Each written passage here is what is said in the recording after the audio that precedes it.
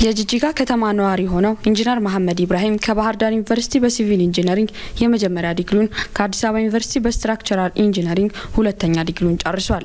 ወጣቱ በ2005 ዓ ም ዲዲኤስ ፖስት የተሰኘ website ላይ ትጽፋለክ በሚል በሶማሌ ክልል ማረሚያ ቤት ለአራት ዓመት በእስራት ቆይቷል። የ13 ዓመት ፍርድ እንደተፈረደበትና በማረሚያ ቤቱ የሰብአዊ መብት ጥሰት እንደተፈጸመበትም ይናገራል። ከታገሱት ሁሉ ያልፋል። በነበርክበት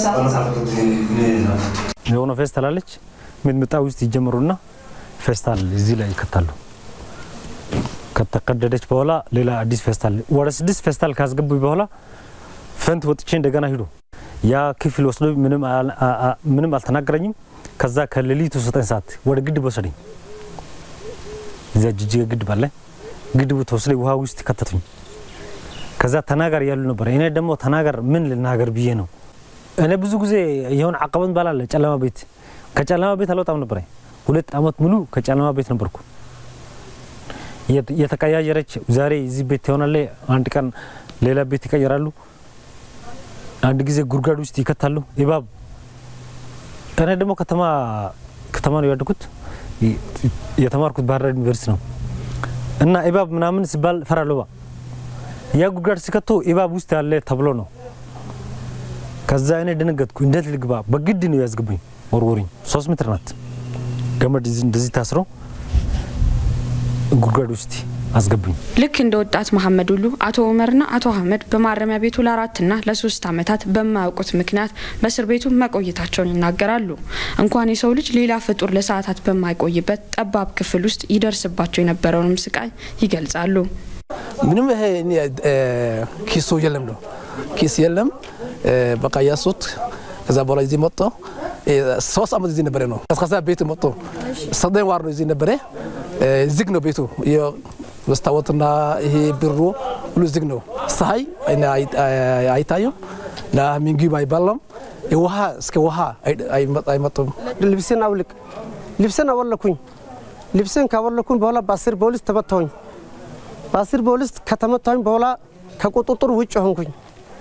ከቁጥጥር ውጭ ሆኝ ዝናብም የዝነበ ነው። ደሞ ራቆቴ ነው። እዛ ተኝቼ ሰውነቴ ላይ በሙሉ ቁስል ነው ያለው።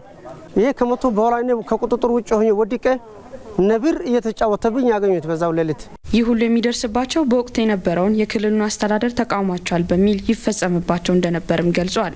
በወቅቱ የተፈጸመባቸው ድርጊት ለአካላዊ ጉዳት፣ የመንፈስ ስብራት መዳረጋቸውንም ይናገራሉ። ከተኛ እና ከተዉ ጥሩ ነው። ሌሊት በአስር ሰዓት ያወጡሃሉ እና ማን ነው information ሰጥ ይሄ የዱላ ነው መጡ። ከዛ በኋላ ይሄ አንድ አይን ምንም አይታየም። ምንም ሰው ሌሊት ይመጣል፣ ጀርባ አጥንት እያነባል። እዚህ ህመም እሰማለሁ ሁሌ ሲራመድ ራሱ ትንሽ ህመም እሰማለሁ። በቅርቡ የተሾሙት የክልሉ የማረሚያ ቤቶች አስተዳደር ኮሚሽን ምክትል ኮሚሽነር አቶ ሚኢር አብዲ በሶማሌ ክልል ከ2005 ዓ.ም ጀምሮ በፖለቲካ አመለካከታቸው ከታሰሩ ግለሰቦች መካከል ከ300 በላይ የሚሆኑ ግለሰቦች ህይወታቸውን ማለፉን ገልጸዋል። ይህንን ድርጊት ፈጽመዋል ተብሎ የሚጠረጠሩ አካላትን ለፍርድ ለማቅረብ እየተሰራ መሆኑንም ተናግረዋል። ምንም አሁን ባለፈው የተፈጸመበት ድርጊትና ጭፍጨፋ ተገቢ ነው የሚል ሰው የለው። በህግ ስር በህግ ጥላ ስር ያሉትን አሉት ከሀገር የኮበለሉት ማለት ማረሚያ ቤቶች ላይ መሰል የሰብአዊ መብት ጥሰት እንዳይፈጸም ክልሉና የፌዴራል መንግስት እየሰራ መሆኑንም ገልጸዋል።